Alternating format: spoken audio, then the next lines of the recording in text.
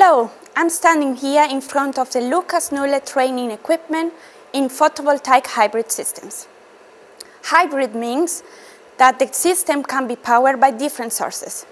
These systems are conceived to ensure power supply in areas where this supply is critical. Students must now prepare to be able to operate, design and install such systems. I will start by briefly describing the components of the system. We start here with the connection point to the grid, accompanied by a smart meter which um, transmits information to the SCADA. And here we have a power switch which allowed us to connect or disconnect the grid easily. In the middle, we have the most important element of the system, the battery-powered inverter.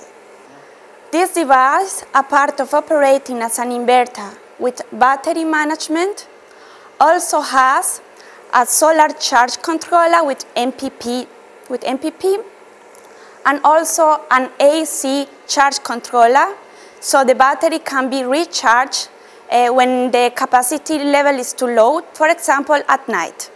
This device also has a measurement module which collects data and sends it to the SCADA. On the right side of the inverter, we will find two types of loads, which will help us to investigate the variations on the system depending on consumption. In these systems, we have two types of different um, generators. The first one is the photovoltaic system, which is built up with, the, with this DC control power supply together with the software, the solar, panel emulator, which will help us to set different irradiance values. On the other hand, we could also uh, load a solar profile to emulate the behavior of the system during a, a specific period of time. Apart from the photovoltaic system, it is also possible to connect the small wind power generator. Uh, if we do so, we can expand the system to form a small microgrid. And here, on the bottom part of the system, we find our battery. We will use this measuring device to display important values like voltage, current, and power. Now, I want to show you the SCADA interface that will allow us to observe everything that is happening in the system. As you can see, the measurement values at the different points of the hybrid system can be monitored in real time, which makes for the students easy to understand how the energy flow and the different types of operation works. Along with the system, you will find an interactive course that can be installed on a PC. The multimedia platform used here is called LabSoft, and it allows you to display theory, setups, practical exercises, and perform real-time evaluation in a very user-friendly way. Additionally, each course has different virtual instruments that will make the configuration of devices and data acquisition easier.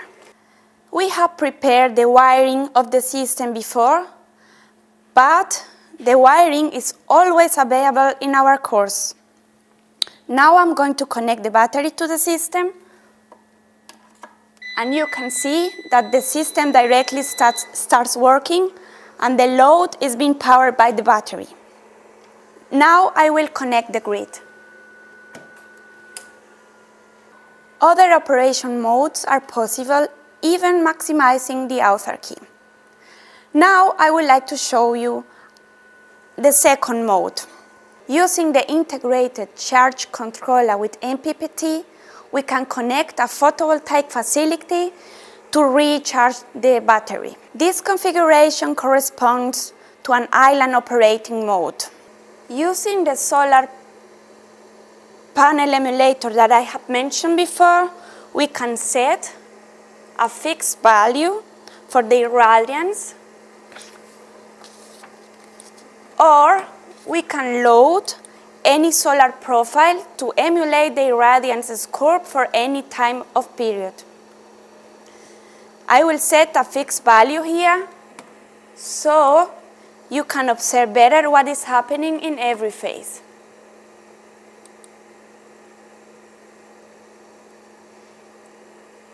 If the solar irradiance is enough, the photovoltaic system starts to deliver power.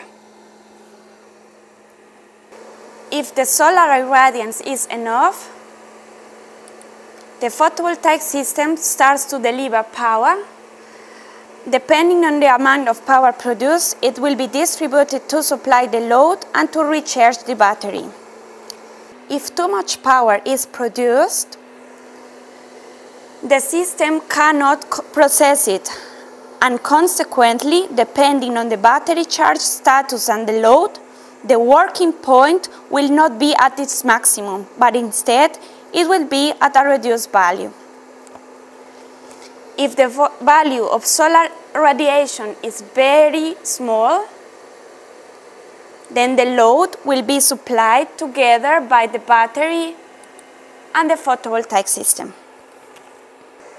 Now I would like to explain you the next operation mode, which includes the connection of the small wind turbine.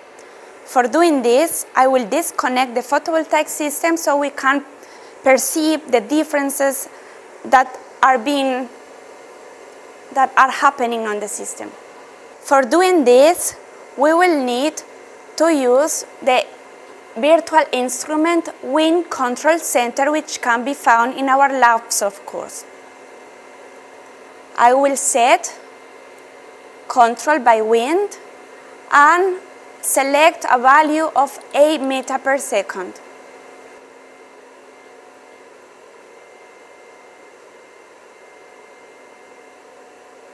Okay, now I will enable the instrument. First, starting the recording so I, I am able to see some parameters here. So, and when I start, we can see on this diagram how the voltage is rising. But this is not all. We can also show some other parameters which are important for the system. For example, the current and the active power. So right now, our system is being supplied by, by a second generator, in this case the wind turbine. The loads are being supplied together by the wind turbine and the battery. Further experiments are possible, of course, and then you can find them on our LabSoft course. I will stop the wind turbine now. There are other possibilities. For example, we could connect a solar pump to our system as an alternative generator. Additionally, we can connect the real wind turbine or the photovoltaic module. This new photovoltaic hybrid system will become part of our power engineering lab, which you can see on the background. Important parts of this lab are wind power plant, microgrid, smart grid, energy management, and professional photovoltaics. This is all for now. I hope I have caught your attention. For more information, please visit our website.